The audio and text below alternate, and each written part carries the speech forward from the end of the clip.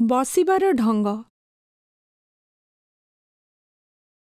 ସିଲେଇ ଏପରି ଏକ କାମ ଯାହା କରିବା ପାଇଁ ଆପଣଙ୍କୁ ଅଧିକ ସମୟ ବସିବା ଆବଶ୍ୟକ ପଡ଼ିପାରେ। ଯଦି ଆପଣଙ୍କର ବସିବାର ଢଙ୍ଗ ଭୁଲ ହୁଏ ତେବେ ଖୁବ୍ ଶୀଘ୍ର ଆପଣ ଥକିଯିବେ।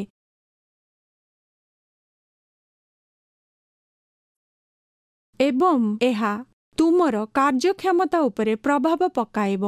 ଏହା ମଧ୍ୟ ଆଗକୁ ଉଦ୍ୟୋଗ ଉପରେ ବାଧକ ହେବ।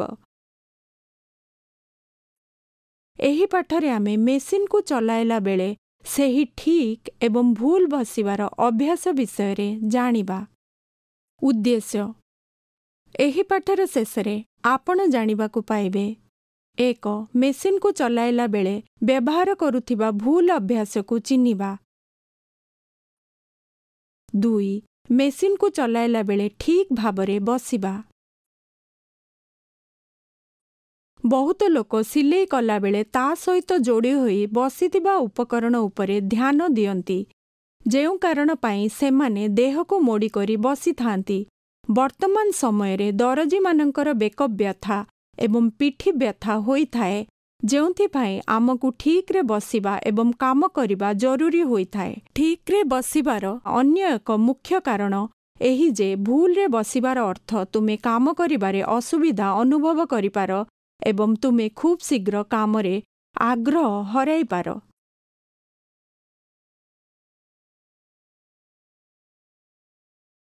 ସର୍ବପ୍ରଥମେ ଆମେ ସିଲେଇ ମେସିନକୁ ଚଲାଇଲା ବେଳେ ବ୍ୟବହାର କରୁଥିବା ଭୁଲ ଅଭ୍ୟାସକୁ ଚିହ୍ନିବା। ସବୁଠାରୁ ସାଧାରଣ ରୂପରେ ଆମେ ଭୁଲ ବସିବାକୁ ଦେଖିବା ଯେଉଁଠାରେ ଲୋକମାନେ ମେସିନ ଠାରୁ ଦୂରରେ ବସନ୍ତି ଏବଂ ଆଗପଛ ହୁଅନ୍ତି। ଏହି କାରଣରୁ ସେମାନଙ୍କ ବେକ ଓ ପିଠି ବ୍ୟଥା ହୁଏ ଏବଂ ଶୀଘ୍ର କାମରୁ ବିଶ୍ରାମ ଚାହାନ୍ତି।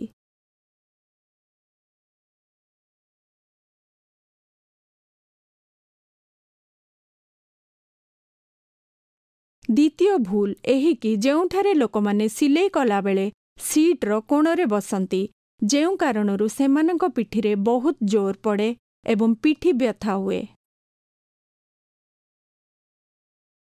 ବର୍ତ୍ତମାନ ଆପଣ ଭୁଲ ଅଭ୍ୟାସକୁ ଦେଖି ଆପଣ ଜାଣିପାରୁଥିବେ କି ଠିକ୍ ଅଭ୍ୟାସଟି କ'ଣ ହୋଇଥିବ। ବହୁ ଲୋକଙ୍କର ମାନ୍ୟତା ଯେ ସେହି ଢଙ୍ଗର ତାତ୍ପର୍ଯ୍ୟ ଏହିକି ସିଧା ବସିବା ସହିତ ବେକ କାନ୍ଧ ଓ ପିଠିକୁ ଟାଣି ହୋଇ ବସିବା।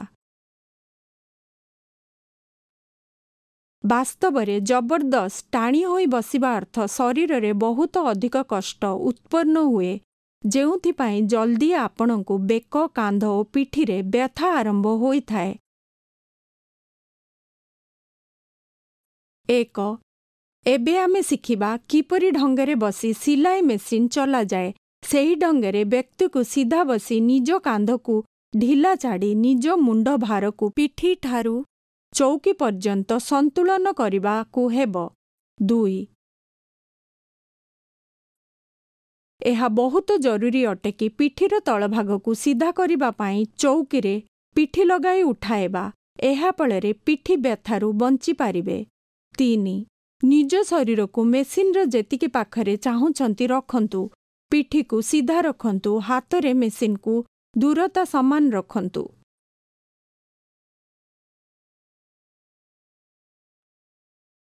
ଚାରି ଉଚିତ ଉତ୍ତା ଚୌକିର ବ୍ୟବହାର କରନ୍ତୁ ଯାହା ଆପଣଙ୍କୁ ସିଲାଇ ମେସିନର ତଳଭାଗର କାମ କଲାବେଳେ ସୁବିଧା ଦେବ। ଏହା ବହୁତ ଭଲ ହେବ କି ଯଦି ଚୌକିଟି ଆଡଜଷ୍ଟେବୁଲ ହୋଇଥିବ ସେଥିରେ ଆପଣ ନିଜର ଉଚ୍ଚା ଅନୁସାରେ ସ୍ଥିର କରିପାରିବେ।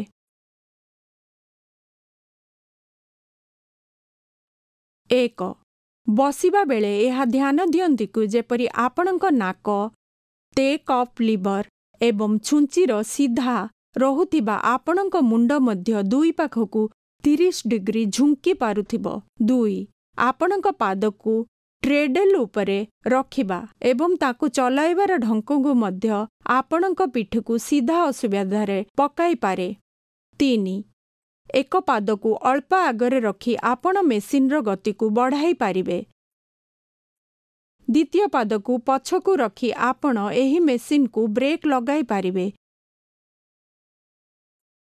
ଚାରି ଆଲୋକର ବ୍ୟବସ୍ଥା ମଧ୍ୟ ବସିବାର ଢଙ୍ଗ ଉପରେ ଅସୁବିଧା କରିଥାଏ କାରଣ ଆଲୋକର ଅଭାବରେ ସିଲେଇକୁ ପାଖରୁ ଦେଖିବା ପାଇଁ ଲୋକମାନେ ବସିବା ଢଙ୍ଗକୁ ବଦଳାଇଥାନ୍ତି।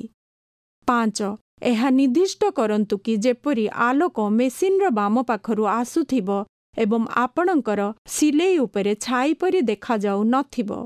ନିଜର କପଡ଼ାକୁ ମେସିନ୍ର ବ୍ୟାଣ୍ଡ ହ୍ୱିଲ୍କୁ ଛୁଇଁବା ଠାରୁ ବଞ୍ଚାନ୍ତୁ କପଡ଼ା ଖରାପ ହୋଇଯାଇପାରେ ଯଦି କପଡ଼ା ହ୍ୱିଲ୍ ଭିତରେ ଲାଗିଯାଏ। ଏହି ସହିତ ଆମେ ଏହି ଅଧ୍ୟାୟର ଶେଷରେ ପହଞ୍ଚିଗଲେଣି। ଆସନ୍ତୁ ଆମେ କ'ଣ ଶିଖିଲେ ମନେ ପକାଇବା। ଏକ ସବୁଠାରୁ ସାଧାରଣ ରୂପରେ ଆମେ ଭୁଲ ବସିବାକୁ ଦେଖିବା ଯେଉଁଠାରେ ଲୋକମାନେ ମେସିନ୍ ଠାରୁ ଦୂରରେ ବସିଛନ୍ତି ଏବଂ ଆଗପଛ ହୁଅନ୍ତି। ଦୁଇ ଦ୍ୱିତୀୟ ଭୁଲ ଏହିକି ଯେଉଁଠାରେ ଲୋକମାନେ ସିଲେଇ କଲାବେଳେ ସିଟ୍ର କୋଣରେ ବସନ୍ତି। ତିନି ସିଲେଇ ବେଳେ ସିଧା ବସିବା ସହିତ ବେକ କାନ୍ଧ ଓ ପିଠକୁ ଟାଣି ହୋଇ ବସିବା ଏକ ଭୁଲ ଢଙ୍ଗ। ଚାରି ଏକ ସେହି ଢଙ୍ଗରେ ବ୍ୟକ୍ତିକୁ ସିଧା ବସି ନିଜ କାନ୍ଧକୁ ଢିଲା ଛାଡ଼ି ନିଜ ମୁଣ୍ଡର ଭାରକୁ ପିଠିଠାରୁ ଚୌକି ପର୍ଯ୍ୟନ୍ତ ସନ୍ତୁଳନ କରିବା ହେବ। ପାଞ୍ଚ ଉଚିତ ଉଚ୍ଚା ଚୌକିର ବ୍ୟବହାର କରନ୍ତୁ ଯାହା ଆପଣଙ୍କ ସିଲେଇ ମେସିନ୍ ମେଜ୍ ଓ ଶରୀର ସମାନ ଭାଗରେ ରହିବ। ଛଅ ଏହା ବହୁତ ଜରୁରୀ ଅଟେ କି ପିଠିର ତଳ ଭାଗକୁ ସିଧା କରିବା ପାଇଁ ଚୌକିରେ ପିଠି ଲଗାଇ ଉଠାଇବା। ସାତ ଏକ ପାଦକୁ ଅଳ୍ପ ଆଗରେ ରଖି ଆପଣ ମେସିନ୍ର ଗତିକୁ ବଢ଼ାଇ ପାରିବେ। ଦ୍ୱିତୀୟ ପାଦକୁ ପଛକୁ ରଖି ଆପଣ ସେହି ମେସିନ୍କୁ ବ୍ରେକ୍ ଲଗାଇ ପାରିବେ। ଆପଣ ଏବେ ଏହା ଶିଖିଗଲେଣି କି କିପରି ଠିକ୍ରେ ବସି ମେସିନ୍ ସିଲାଇ କରିପାରିବେ। ଏହା ବହୁତ ଜରୁରୀ। ଏହି ଯେ ଆପଣ ସବୁ ସମୟରେ ମନେ ରଖିବେ ଆସନ୍ତା ଅଧ୍ୟାୟରେ ଆମେ ଛୁଞ୍ଚିକୁ କିପରି ମେସିନ୍ରେ ଲଗାଇବା ଶିଖିବା।